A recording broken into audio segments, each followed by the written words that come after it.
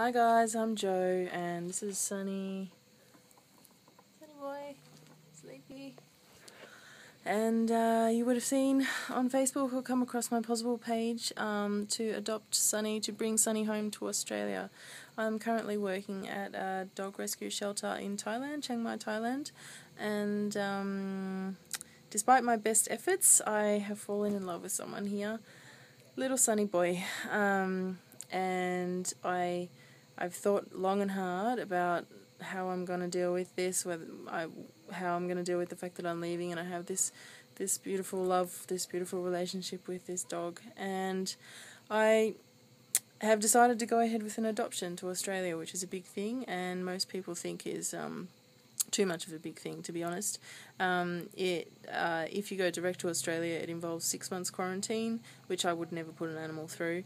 Um, so the other way to go about it is to uh, have the dog fostered in the US for six months by uh, just in a normal living environment, like a family, a friend, um, and I'm working really hard to find the best person for that.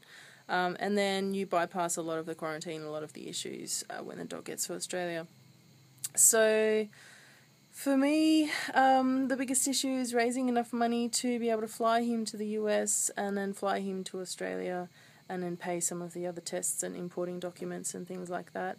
Um, as you could imagine, there are uh, some big flight costs. Um, animal transport is something that they try and make a lot of money out of, so it's all adding up. And then registered tests by vets here and there and everywhere and things like that.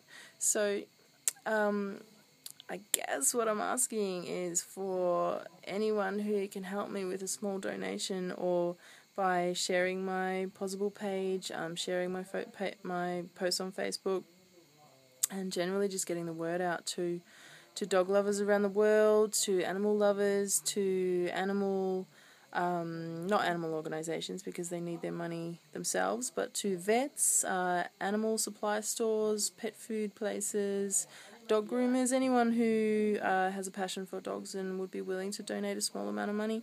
Um, the total amount of money is a huge amount when you think about it, but uh, if everyone just donates like a small amount, $25 or something like that, it, it will get there. Um, I'm certain it will get there.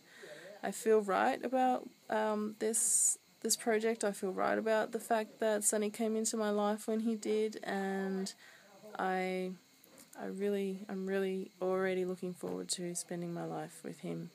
So I hope that you will help me. And uh, please feel free to contact me about any questions or queries that you have, or any way that you think you might be able to help.